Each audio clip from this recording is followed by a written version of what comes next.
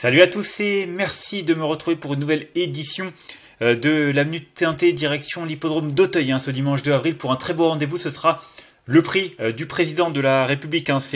Euh, l'un des handicaps les mieux dotés et le plus euh, convoité euh, sur la butte Mortemar. Hein. Ce sera la troisième course du programme en réunion 1, voilà, prévue à 15h15 comme vous le voyez. voilà les conditions, bah écoutez, hein, c'est un steeplechase handicap sur 4700 mètres, 5 ans et plus au départ, 18 concurrents, enfin 18, ils sont plus que 17. Hein. Vous ne l'avez pas encore en tant que non partant grisé en, en, rouge, mais en tout cas le numéro 4, Saint-Romain du Derby qui a déjà décliné la lutte hein, dans cette compétition du coup ils ne sont plus que 17. Euh, un parcours de longue haleine, un 4700 mètres exigeant. Et euh, c'est jamais facile.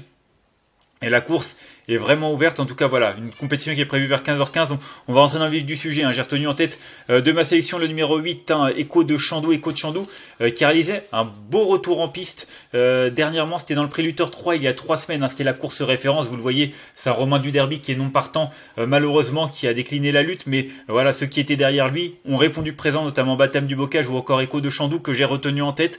Un jeu, un cheval qui a de l'expérience. Euh, faut se souvenir qu'il avait terminé euh, deuxième du prix Montgomery, vous allez le voir, c'était en octobre. Euh, c'était ici, hein, déjà un groupe 3. c'est un petit peu l'équivalent du prix du président de la République, mais à l'automne. Et c'est vrai que ce Écan de Chandou montrait non seulement qu'il était compétitif à cette valeur, mais également qu'il était capable de bien faire sur ce parcours. Donc voilà, beaucoup d'atouts dans son jeu. Je trouve vraiment qu'il est bien placé au poids et associé à Olivier Join qui le connaît parfaitement. Je pense qu'on a bien préparé le coup avec la famille Pelletier avant le coup. je pense qu'il est capable de remporter euh, ce euh, gros handicap et surtout ce groupe 3 euh, très convoité. Ensuite, en deuxième position, moi j'ai retenu le 7, hein, Batam du Bocage, une jument de 6 ans, vous le voyez, elle a un profil assez atypique. Hein. Elle a couru, euh, couru à combien? 6, 7 fois? 1, 2, 3, 4, 5, 6 fois en steeple et une fois en, en L où elle a été arrêtée en tout début de carrière derrière. Euh, c'est assez impressionnant ce qu'elle réalise et euh, c'est vrai qu'on ne sait pas trop où sont ses limites. Elle a débuté dernièrement dans les gros handicaps. Elle a terminé troisième du Préluteur 3. C'était vraiment très très bien hein, avec Anthony Renard qui la connaît parfaitement.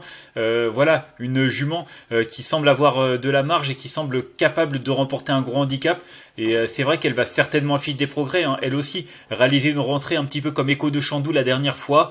Euh, voilà, rien ajouté, 68 kg et demi. Euh, je pense qu'il n'y a pas de problème avec ce, poids. Hein. Elle a montré déjà qu'elle était compétitive, en tout cas à cette valeur la dernière fois. Et comme je l'ai dit, à mon avis, elle devrait sans doute courir en amélioration et pourquoi pas même euh, rafler la mise. En tout cas, moi je vois une toute première chance.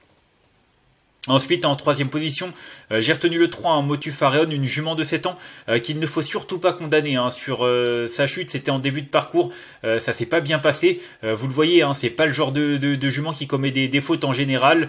c'était son retour en steeple. Peut-être que ceci explique cela, je sais pas. En tout cas, c'est des l'une des deux représentantes de David Cotin. Et c'est vrai que cette Motu Faréon avait remporté un gros handicap l'année dernière et derrière, elle avait confirmé en terminant deuxième hein, derrière. Euh, écoute en tête. Voilà, c'était ici le 12, 12 euh, euh, novembre. Du coup, voilà, une jument qui est capable de porter le poids, qui a montré qu'elle été compétitive à cette valeur. Et voilà, moi je la reprends en confiance. Angelo Zilunani qui lui sera associé. Attention, je pense vraiment que c'est une concurrente qui est capable de également lutter pour les premières places. Ensuite, en quatrième position, j'ai retenu le 2, un Bandero. Un Bandero qui vient de terminer cinquième hein, pour son retour euh, sur l'hippodrome d'Auteuil. C'est vrai qu'on l'a vu euh, briller cet hiver. Je crois que c'était euh, du côté de Pau ou de Cannes-sur-Mer. J'ai envie de regarder pour me rassurer. Mais en tout cas, il a très bien couru durant l'hiver. Là, il vient de terminer cinquième du prix de Robert de Clermont-Tonnerre. C'est un groupe, un groupe sur l'hippodrome d'Auteuil. Hein, regardez. Euh, une course de groupe 3, hein, euh, Grand Steeple Chase Master, c'est pas n'importe quoi, hein, grandeur nature, Metasequoia, euh, voilà, c'était pas les mêmes, c'était un lot qui est bien plus relevé, euh, voilà, il a très bien couru à peau, comme vous le voyez, 5300 mètres, il a de la tenue, donc voilà, ça va pas lui faire peur ce, parcours de 4700 mètres, voilà, c'est un cheval qui, comme je l'ai dit, a sans doute été préparé avec soin par son entraîneur pour cette épreuve, et malgré les 70 kilos, je pense qu'il est capable de rivaliser et pourquoi pas même de monter sur le podium. Ensuite, en cinquième position, j'avais retenu le 4, hein, euh, Saint-Romain du Derby, mais finalement, ce sera le numéro 12, euh, euh péril, euh, que j'ai retenu. Un cheval qui a été absent pendant plus d'un an et demi, qui vient de faire une rentrée victorieuse. C'est un peu difficile de situer ce concurrent, il a déjà bien fait hein, sur le steeple d'Auteuil par le passé. Euh, je sais pas en fait euh, où, il, en est exactement. Hein. C'est vrai qu'après une aussi longue absence, effectuer une rentrée victorieuse, c'est quand même un signe de grosse qualité. Euh, là, l'opposition n'est pas la même. On aborde un parcours également qui est pas le même et qui est beaucoup plus exigeant. Mais bon, je me dis que sur sa forme, sur sa lancée, pourquoi pas? On, on tente le coup avec son entourage, on profite de sa forme et c'est peut-être la bonne surprise de cette épreuve. En tout cas, moi je l'ai retenu en cinquième position. Et c'est vrai que j'aime beaucoup sa candidature. Je pense qu'il est capable de brouiller les cartes. Ensuite, en sixième position, euh, j'ai retenu le 13, un fanfaron spécial. Bah, fanfaron spécial, euh, tenez-vous bien, il a remporté cette épreuve il y a deux ans. Euh, derrière, il avait recouru, mais il a surtout été arrêté pendant euh, plus de, de, 15 mois, hein, entre juin 2021 et septembre 2022. Il a connu une longue interruption de carrière, comme vous le voyez. Il a eu un peu de mal à retrouver la bonne carburation en steeple. Du coup, on lui a redonné du moral euh, sur les balais. Euh, derrière, cette année, il a couru deux fois en steeple. C'était pas mal du tout. à mon avis, lui aussi, on a dû axer sa préparation en vue de cette épreuve hein, qu'il a déjà remportée.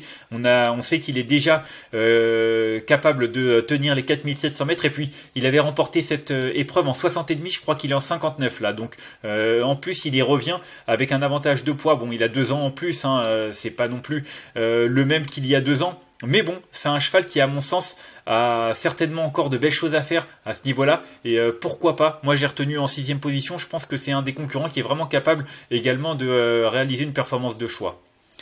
Ensuite, en septième position, j'ai retenu le 15, un Royal Cléty, un cheval qui va me terminer cinquième hein, de la course référence. C'était euh, c'était le Préluteur 3. Il courait bien, hein. euh, il se comportait vraiment bien derrière Batam du Bocage et Echo de Chandou. Euh, voilà, c'est pas non plus une toute première chance, mais en bas de tableau, avec 65 kilos, je trouve qu'il a vraiment une situation qui est assez favorable. Il est certainement barré par plusieurs concurrents, mais s'il venait y avoir une ou deux défaillances, il est capable de terminer dans la bonne combinaison du quintet. Et enfin, en huitième position, j'ai retenu le 10, Rosa Kleb. Alors, je sais pas trop de quoi elle est capable, cette euh, jument de 5 ans. Euh, David Cotin qui tente quelque chose. Euh, non seulement elle va découvrir un parcours aussi exigeant, mais en plus, elle reste sur une cinquième place en haie. Maintenant, elle a montré de la qualité en steeple. Hein, vous le voyez, elle a déjà gagné l'an passé en steeple. Dylan Ubeda, je sais pas s'il avait le choix des montes, mais c'est vrai que la dernière fois il était sur Motu Faréon. Euh, c'est un pari, je pense que tente David Cotin, mais j'ai envie de croire que c'est un pari qui est capable d'être gagnant. Alors pas forcément pour l'avoir euh, monté sur le podium, mais c'est vrai qu'elle peut manquer d'expérience, mais elle a de la qualité, elle est pourquoi pas capable de terminer 4-5e dans une telle épreuve. Et enfin, en cas de non partant, euh, j'ai retenu le 11 Harmonie euh, d'aîné. Euh, voilà, Gabriel Lenders, un homme habile, une jument qui réalise un bon début d'année, qui a très bien couru lors de son retour sur le steeple en, s'imposant. Hein. Je crois que c'était à Fontainebleau ou à Compiègne. Non, c'était à Compiègne. c'était à Compiègne qu'elle s'imposait devant Fontane. c'était vraiment une, victoire assez séduisante. cette fois-ci, on change de registre. c'est pas la même histoire, surtout sur le parcours des 4700 mètres du steeple d'Auteuil.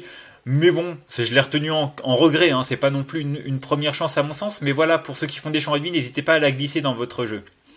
On va faire un petit récapitulatif de ma sélection avec le 8 écho de Chandou que j'ai retenu en tête euh, devant le numéro 7 Batam du Bocage, le 3 Motu Farion, le numéro 2 Bandero, le numéro 12 Impéril, le 13 Fanfaron Spécial, le 15 Royal Cléty et le numéro 10 Rosa Kleb et en cas de non partant le 11 Harmonie d'Aîné.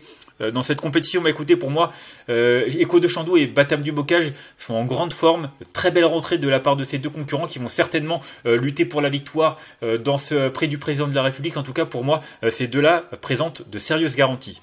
Et puis ensuite, j'ai retenu le 3 Motu Faron que je reprends confiance. Euh, l'un des deux atouts de, David Cotin, Angelo Zuliani. On a quand même un, pilote de choix pour euh, cette Motu Faron qui euh, vaut vraiment mieux que la, sa, sa récente chute. C'est pas dans ses habitudes et je pense qu'elle est vraiment capable de bien faire dans cette compétition et pourquoi pas même de monter sur le podium. Donc 8, 7, 3, mes trois préférés. On a fait le tour. Je vous remercie d'avoir suivi euh, cette nouvelle édition euh, de la Minute Quintée. Si vous avez aimé cette vidéo, n'hésitez pas à la liker, à la partager ou encore à vous abonner à notre chaîne YouTube en cochant la petite cloche. Moi, je vous retrouve euh, dès demain pour une nouvelle édition. D'ici là, je vous souhaite de bons jeux à tous. Bye bye.